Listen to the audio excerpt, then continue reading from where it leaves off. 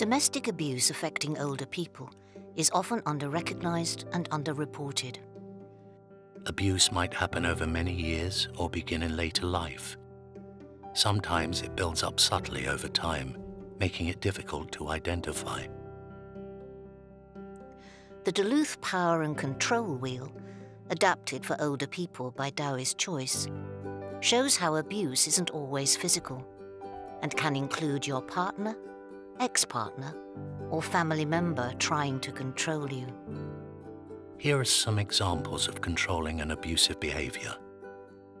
Criticizing you and making you feel bad about yourself, stupid, or that you always get things wrong.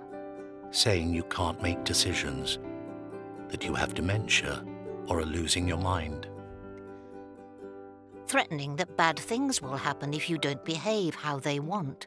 Sometimes these are small threats. But they might include threats to harm themselves, you, or the people or even animals that you care about.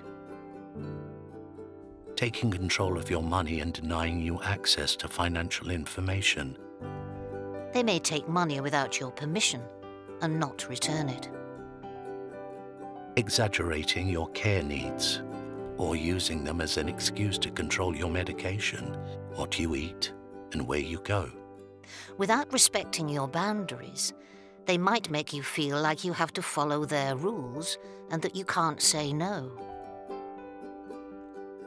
Abuse can also include making excuses for treating you badly and blaming you for their behavior, telling people you are difficult, and presenting themselves as caring and supportive. Or alternatively, ignoring your needs, making out they are incapable of doing things themselves and that you have to support them.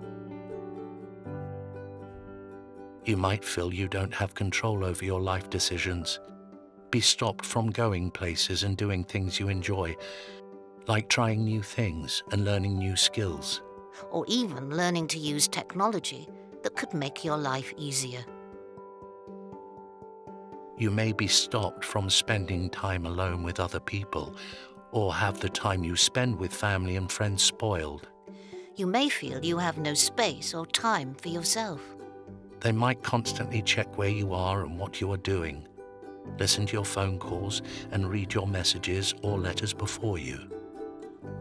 Abuse can also include using their physical size to scare those around them, being aggressive towards you and the people you care about, and committing physical violence against you or your property. Maybe the behavior just started or recently got worse. Even if it's always been like this, it doesn't mean it's okay. The good news is that you don't have to manage this on your own. There are people you can speak to, confidentially, who can offer you support and explain your options. Regardless of whether you want to end the relationship or not, talking to someone about the behavior won't mean having to make decisions you're not ready for. But it will open the door to the help you need to start feeling safer and happier today. today.